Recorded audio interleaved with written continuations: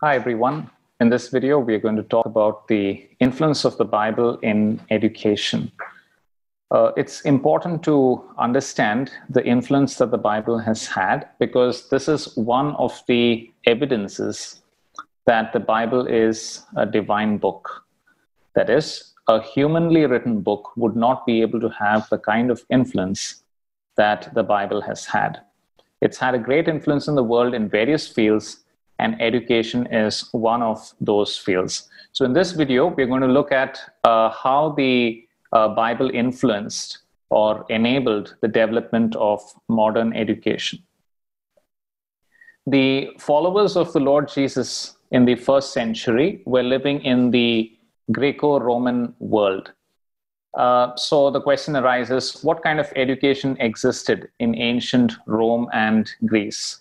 We have artifacts like these, and we have the writings of some historians which tell us that uh, there was some form of tutoring that used to go on.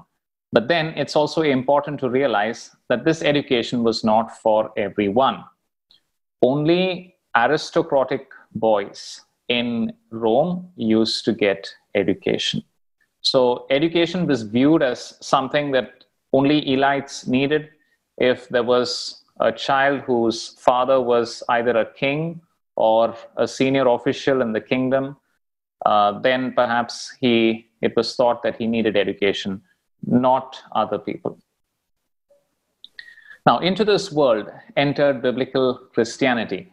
Now, um, those of us who are familiar with the Bible know that um, the, the first followers of Christ were Jews. And even before uh, the Lord Jesus came to this world, uh, the, the, the, Jews had their Old Testament scriptures.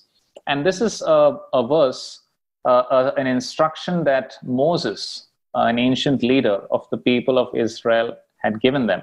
So he says like this Hear, O Israel, the statutes and the judgments that I speak in your ears this day, that you may learn, guard, and practice them. Do not forget these laws, teach it to your sons and your sons' sons.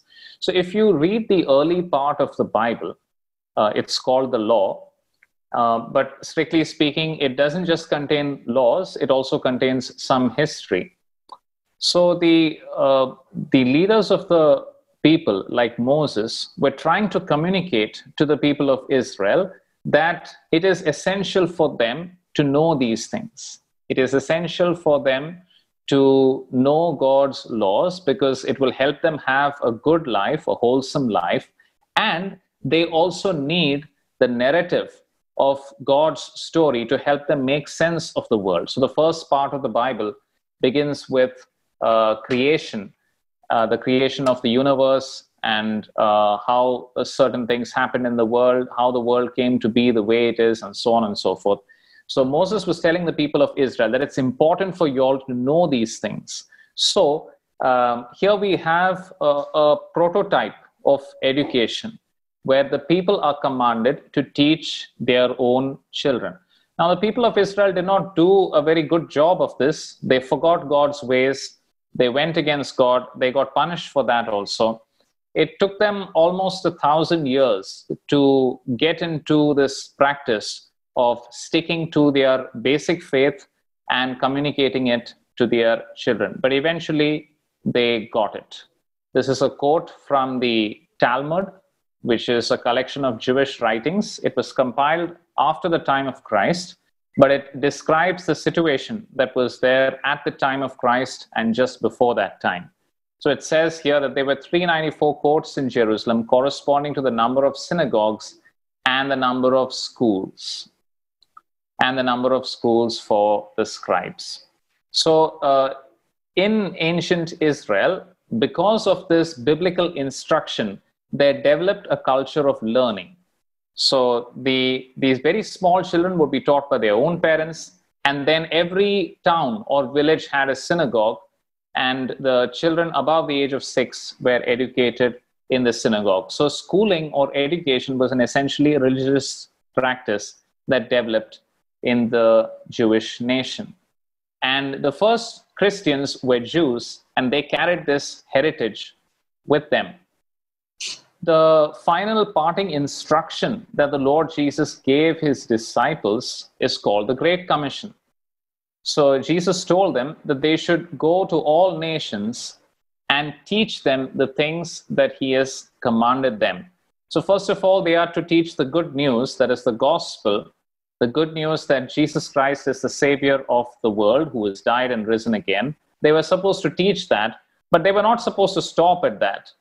They were to teach people who would come to come to become disciples of Christ all that Jesus had taught his original 12 disciples. So, here in this instruction, in this parting instruction that Jesus gave his disciples, we have a mandate for a process of teaching.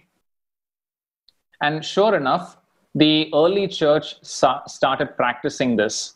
So, as the number of converts or the number of seekers who were interested in knowing what Christianity was all about, as this number increased, um, the practice of teaching them became more organized.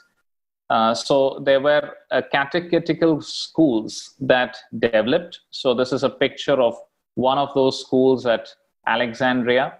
And in these schools, the students or the new converts or the people who were seeking to the who were showing interest in christianity these people were taught christian doctrine but apart from that they were also taught grammar mathematics and medicine. So it was thought that they would be able to understand the Bible better or put their faith to practice better and live better lives if they also knew these uh, little bits of secular knowledge, if they had the secular knowledge apart from the uh, Bible. So this is a comment from William Boyd, uh, one of the historians who's done research on education. And he says that due to these catechetical schools, Christianity became for the first time a definite factor in the culture of the world. So these schools became spheres of influence. One of the most influential figures in the uh, first few centuries after the time of Christ in Europe was Augustine. And Augustine wrote a book called the Doctrina Christiana, that means Christian teaching. So he book, wrote a book about teaching. And in this book, he says that secular studies will aid students in the interpretation of the Bible. So, if you have a good knowledge of history, if you have a good knowledge of grammar, then you will be able to interpret and understand the Bible better. So, this was the motivation for, uh, for secular education in the early centuries. Now, when, when Christians started practicing education, they brought about a new practice. So, this is a quote from uh, Tatian. He's one of the church fathers from Assyria, and he is addressing secular Greeks here. And he says, We teach everyone, including girls and women. After all, the Lord Jesus said that the gospel should be preached to everybody.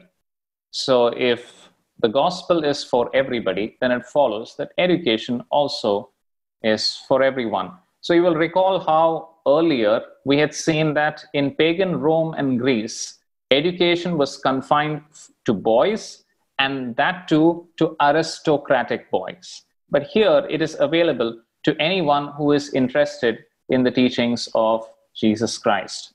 So William Ramsay another historian comments like this. He says Christianity's aim was universal education, not education confined to the rich as among the Greeks and Romans, and it did not make distinctions of sex. So, because of Christianity, we see that education in ancient Rome and Greece moved out of the confines of the elites, moved out from being just a male thing, but now spread and became more universal. Now, the you can understand this process of people coming to Christ like this.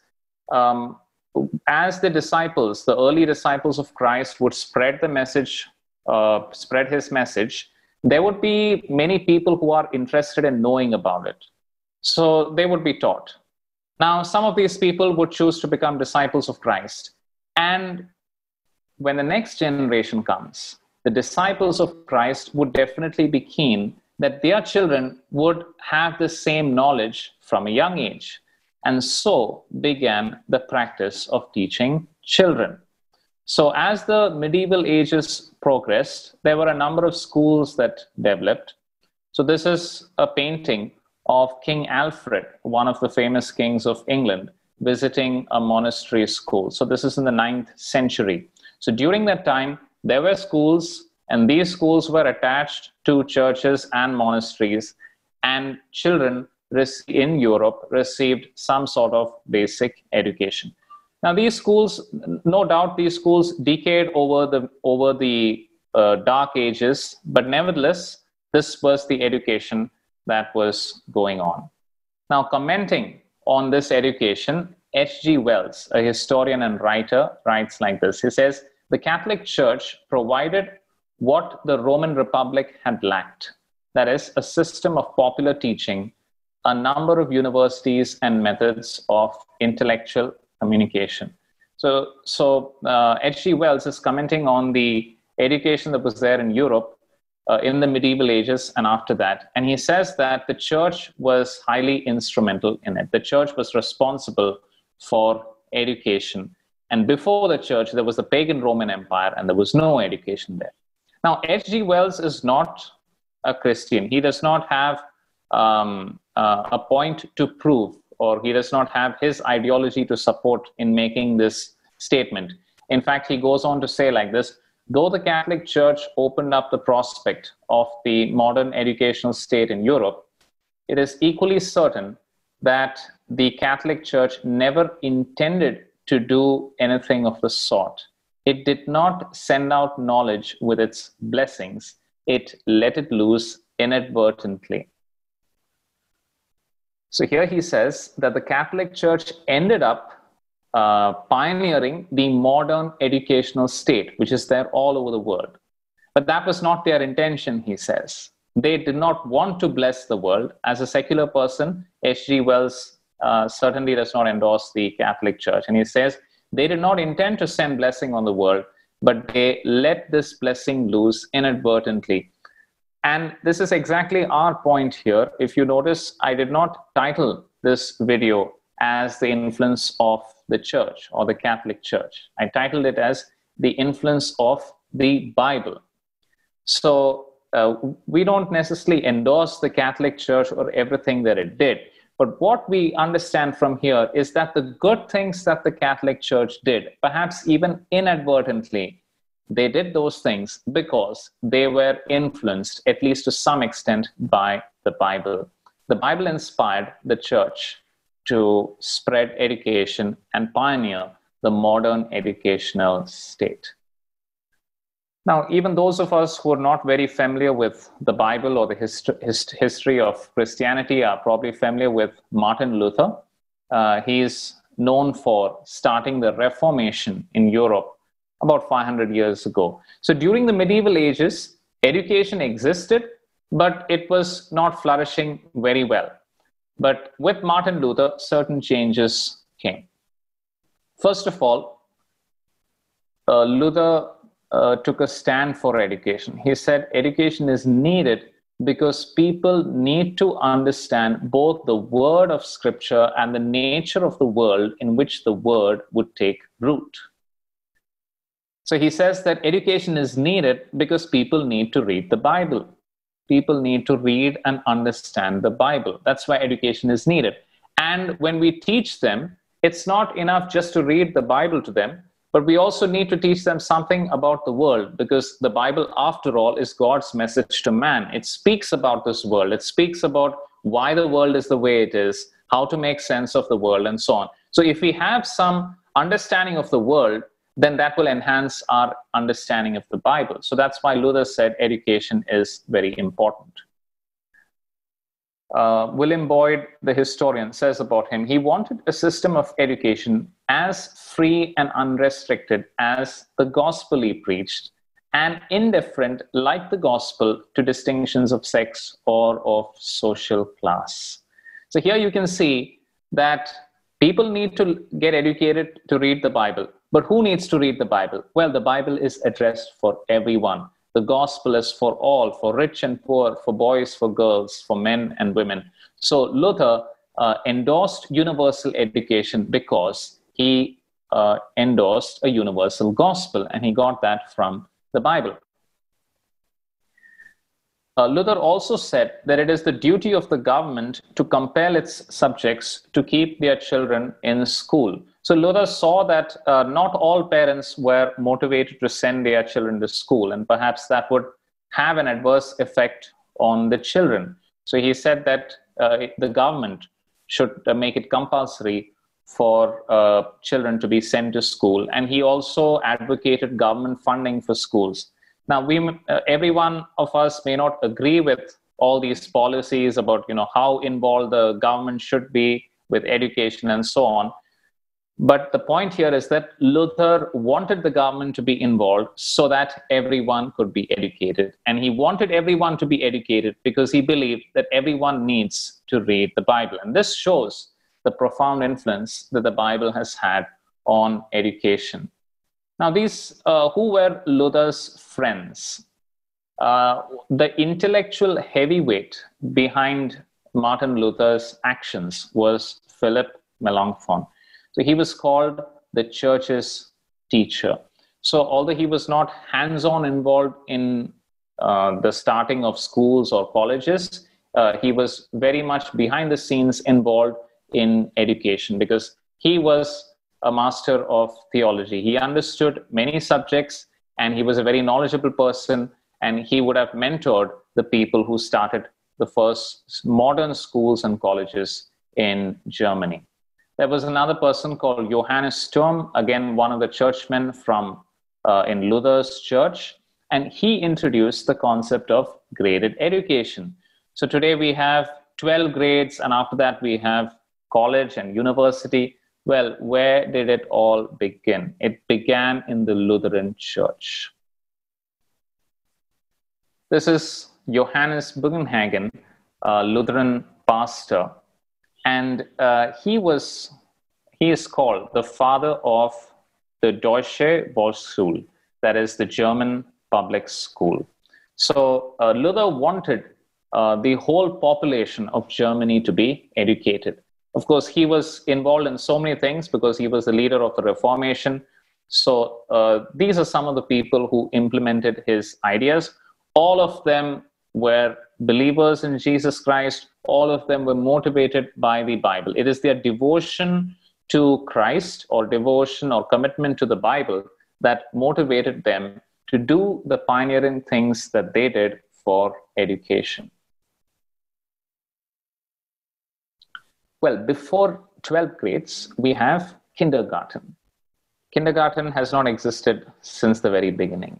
It started at a definite point of time. The person who started it was Friedrich Froebel, another Lutheran.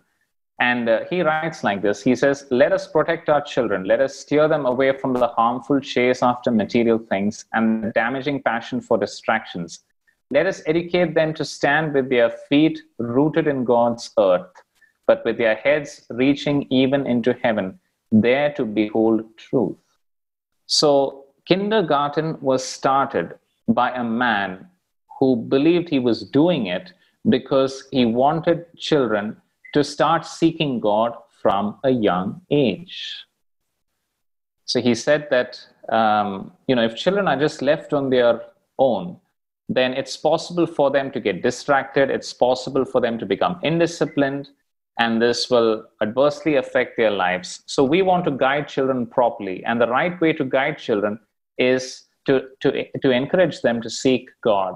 And that was the purpose for starting uh, kindergarten. So, a Good and Teller, two authors in their book called The History of Western Education, they say like this that Frederick uh, Froebel's motivation was that the world of man and nature are connected by God, and children need to learn that at a young age. How do you relate to the world outside? In order to relate to the world outside, you need to first properly relate to God. And, and this was uh, Froebel's conviction, and that's why he started kindergarten. This is uh, Jan Comenius or Jan Komensky. Komensky. Uh, the, this is a currency note that uh, commemorates and honors him. So he, uh, he lived in Bohemia around uh, 500 years ago, uh, what is today the Czech Republic. He was a church leader of the Czech Brethren, and uh, he was also a pioneer in education. This is taken from the New World Encyclopedia. So um, this source calls him a teacher, a scientist, an educator, and writer. He was a Moravian Protestant bishop and also a religious refugee and one of the earliest champions of universal education. So he is called the father of modern education. Now, he was primarily a church leader, he was a pastor. But uh, because he saw the way in which the Bible can be can be taught to people and people need to learn the bible because of this concern he also became a pioneer of education. So people did not invent modern education just because they thought of it in isolation. It was just a byproduct of the devotion and concern that people had for the Bible and the spreading of its teachings. Um, almost everything, every point that uh, Jan Comenius made about education, about teaching people, was accompanied by a quote from the Bible. So this is a prayer of his that has been recorded. Have mercy, O Lord, on your heritage. Uh, this is in his brief proposal on the renewal of schools in Bohemia. So all the reform of the medieval schools that Jan Comenius was attempting, he was doing it uh, as part of his devotion to God. Uh, these are some of the influences that he had uh, he was influential in the starting of the Royal Society of Science in England. Halle University was the first modern university in Germany. Uh, later on, it was merged with the Wittenberg University that Martin Luther started. So, uh, Jan Comenius was influential in the starting of this university. And uh, he also inspired the Puritans. In fact, the Puritans of America uh, invited Jan Comenius to take over Harvard University, which was a college that they had just recently started. And they started it in order to train people to teach God's word. So, this is a quote from a secular historian, George Marsden. He writes like this One of the remarkable facts of American history is that only six years after their settlement in the Massachusetts wilderness, the Puritans established what soon became a reputable college higher education was for them a priority in civilizational building. So, of course, the Puritans who went to America, they were trying to start a new civilization there. And there have been many civilizations in the past before that, before them. But these civilizations in the past did not give a priority to education. But these Puritans did. Why? Because they were concerned about the spread of the teachings of the Bible. They were concerned that all the settlers who came to this new place, that is America, needed to be taught God's word. The children needed to be taught, the churches needed to be taught. And that's why they set up Harvard University to teach the Bible and also other subjects. Now, in this context, it's uh, worth noting uh, the word university. The word university means unity in diversity there are many subjects taught in, an, in the university. So that's the diversity, but the unity come. The people who started the first universities, they were motivated by the Bible and they believed that it is theology that unifies everything. Everything, all subjects, whether it's history, science, art, mathematics, uh, technology, or any, any subject, everything, the, the whole system of knowledge about the world, it all is tied together and pivoted in theology. Uh, the world works or the world makes sense because of God, because of what God has told us about the world. That's why they coined the word university. Another leader of the Reformation was John Calvin, and he was based in Geneva in Switzerland and he had a plan for the city, and that plan included a system of elementary education in the vernacular for all, including reading, writing, arithmetic, etc., and religion, and the establishment of secondary schools for the purpose of training civil and church leaders. So, everywhere the Reformation had its impact, it led to the blossoming of education. The Reformation was an attempt to return to the Bible, and when people returned to the Bible, it had a positive effect on education. Now, why did the reformers, why did the early Protestants lay so much stress on education? So, here's the answer from a historian, uh, Gabriel Compayré, writing about the history of education. And he says like this the teaching that each man is responsible for his own salvation logically led to the conclusion that everyone needed to be educated. Now, this is a profound statement. Uh, the Bible teaches that uh, salvation does not come just because you go through a certain set of rituals. Uh, it does not come because you just do a few good deeds, like you go here or you give some money to somebody or something like that. Uh, the Bible does not teach that salvation comes because you are part of a certain community or a certain institution. Instead, the Bible teaches that you will be saved if you understand and accept and respond to the universal truth about this world. The universal truth that this world has been created by a holy God, and we all have offended this God, and this God Himself has come down in the person of Jesus Christ to pay the penalty for our sins, and He is the one who died and rose again from the dead. If you believe all these things, if you put your trust in Jesus Christ, and if you decide to surrender your life to Him, then you will be saved. Now, this is the message of the Bible. Now, needless to say, the Bible teaches that salvation requires that people understand these things. Well, this, this message can be said in a few words, but people might have questions. People need to understand this message properly. So the Bible provides a lot of details. So people need to know how to read the Bible and understand it so that they can respond to this message and be saved and fulfill the purpose for which they've been created. So here you see how the Bible directly provided a motivation for the establishment of education. Well, what about the people who don't have the, the privileges that we have? All of us are endowed with natural abilities, but not everyone has the same abilities. Um, in the ancient pagan civilizations, people who had a handicap were not treated well. But this was a Catholic priest, Abbe Charles Michael de l'Épée. Uh, he is called the father of the deaf. So he invented sign language, and he was motivated by a desire for deaf people to hear the gospel of Jesus Christ. So today, deaf people benefit so much from sign language, and you know perhaps different governments in various countries of the world would have some initiative to educate the deaf people. But it all began. Sign language is invented because somebody was concerned that deaf people also need to hear the good news of Jesus Christ. There was a person called Thomas uh, Gallaudet, and he was a Protestant pastor and he brought this sign language to America. And there he opened the first school of the deaf. Uh, later on, he went on to start a university.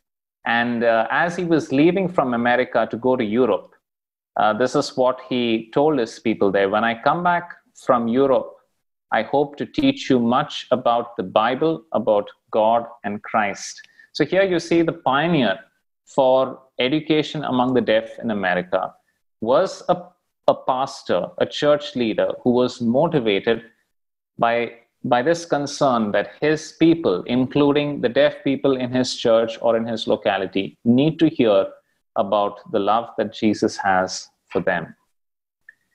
What about the blind? In ancient times, blind infants were killed I mean, they were, they were exposed to the elements of nature and left to die. If that was not done to them, if they survived their infancy, then uh, if they were boys, then they were made as galley slaves. So you can imagine in the days when ships did not have engines, it was these slaves who would continuously be rowing uh, these ships. Blind girls were made into prostitutes. What else could they do? That was the thought in paganism. But during the Middle Ages, uh, Christians ran asylums, protection centers for the blind, so that they would not be mistreated by others. And they tried to teach these blind children uh, by using raised letters on wax and wood. So it was very difficult. Uh, it was not easy for them to do it. But nevertheless, they tried to teach these children at least uh, how to uh, feel and understand letters and words. Now, there was a person called Louis Braille, and he lost his eyesight at a very young age because of an accident in his father's workshop. So you can imagine it's a horrible thing to happen for a person. If this kind of event would happen to us, perhaps there are most, most of us would grow up with bitterness and sadness at what life has uh, has given us or what has happened in our lives. But as a teenager, uh, Louis Braille went to church and he became an organist there, and he really enjoyed playing the organ. And he went on to develop the Braille language, which is a special language for blind people to read. Now, this is what he says I am convinced that my mission is finished on Dart. I tasted yesterday the supreme delight. God condescended to brighten my eyes with the splendor of eternal hope. So here he is talking about his own salvation. Is, he believes that because of what Jesus has done for him, uh, he is going to have an eternal life. So that's a hope for him. And this also inspired him to do something constructive instead of moaning and complaining about his misfortune. So, this is the effect that the Bible has on a person. I mean, just imagine what Louis Braille would do if he was just another person and not um, if, if, if there was no Christianity in his life and he just underwent this misfortune. What would his attitude be? Well, the change is evident when you see the person's uh, devotion to the Bible. It is his devotion to the Bible that made him convinced that God has something good for him and that enabled him to share that goodness with others. The world has been changed since then. Many of us perhaps are aware that uh, in the Industrial Revolution in England, uh, there was a lot of child labor that was used. And um, at this time, this is the 19th century, there were schools in England. But what do you expect poor people to do? Uh, poor people would want their uh, children to earn money rather than to go to school. They couldn't spare that resource. So instead of sending their children to school, poor, chi- poor people would make their children work in the factories. And these children would work very long hours on six days a week. And they uh, would often get into crime because there was no one to love them, no one to care for them and nurture them. These children would get into crime, and as they grew up, they would get into more serious crime and then many of them would land up in jail and it was very difficult to handle them now there was one person who looked at what was happening and he said vice can be better prevented than cured in other words we should do something for these children and straighten them out when they are young rather than wait for them to get adults get themselves into trouble and then try to straighten them out this person was Robert Raikes. So, what was his solution to the problem? He founded something that perhaps most people who have been to church would know today. It's called Sunday School. So he started the first Sunday school in 1780. So remember, these children were working in the factories for six days a week. So Sunday was the only day they were free. So he called these children on Sundays and he taught them. So he actually wanted to teach them the Bible, but of course, for that, he first had to teach them how to read. And thus began their education. So he went on to establish uh, many Sunday schools in different places in England. This is a picture of one of the early Sunday schools. And he died in 1811. Uh, 20 years after his death, you know, the movement spread and 25% of British children were attending Sunday schools. So you can understand that because of him, um, uh, Britain was on course to becoming a literate nation. Here you see one man's concern. First of all, why should anyone feel sympathetic for poor children? It's his love for Jesus that motivated that. And how can we help children? How can we prevent children who do not have a proper family background from going astray? Well, the Bible was the answer for Robert Raikes. Uh, most of what we said up till now was about uh, schools. Let's have a brief look at higher education. Uh, these are ruins at the Greek city of uh, Thales.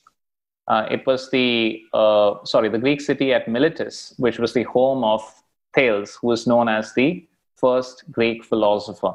Now, he and other philosophers established some schools, that is, centers of higher learning, but although these schools were there, they were not they were not permanent institutions. They just relied on the individual initiative.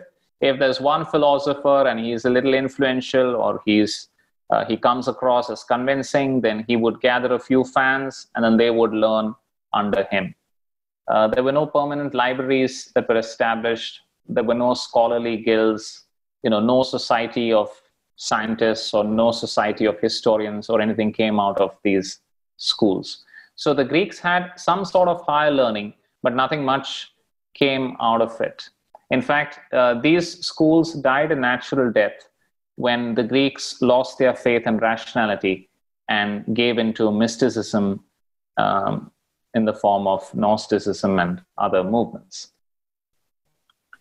But while the Greek system of higher education died, something else was happening in the Christian world.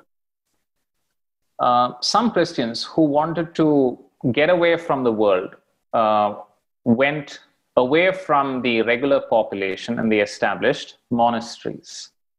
Monasteries would grow their own crops and they would spend the rest of the day praying and also writing and copying and learning.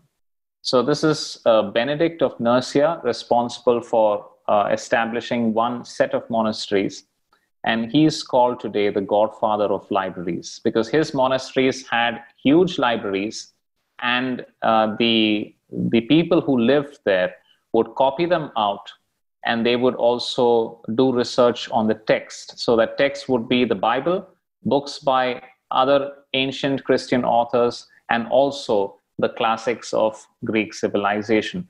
So monasteries became a center of learning. And then the modern university grew out of the monastery. So, the first modern university in the world was the University of Bologna. And the purpose for which it was established uh, was the teaching of church law. So, here again, you see that it is Christianity that uh, influenced or pioneered higher education. Although this university was initially started to teach church law. Later on, other things also were taught. Uh, dissections of human bodies, which is a routine thing today in medical studies. It began in Bologna in the year 1300. So that's where we get our modern education, modern uh, medical education that we have today. If you look at the some of the famous universities that were today, you find that um, many of them were established by Christians who wanted to teach uh, people the Bible. So, for example, Harvard was started by Congregationalists, and Yale and uh, Princeton was started by the Presbyterians, and so on and so forth. In Europe, before these American uh, universities in Europe, Oxford, the University of Paris, Cambridge, Basel, Heidelberg, all these places grew out of the church. They were initially they were started to train church leaders and teachers of the Bible. So a historian comments like this. He says every collegiate institution founded in America prior to the Revolutionary War, except the University of Pennsylvania, had Christian roots. There are two other authors who have written a book called What If Jesus Had Never Been Born? And they say like this every school you see, public or private, religious or secular, is a visible reminder of the religion of Jesus Christ. So is every college or university. So uh, here you see uh, a summary of the influence of the Bible in education. We began by seeing how uh, it is the gospel, it is the great commission of Jesus Christ that motivated Christians. And that's why they began uh, schools to teach seekers and converts, and modern education grew out of that. The profound influence of the Bible in education is one of the many evidences that this book's origin is not just human, but it is a divine book. Thank you very much.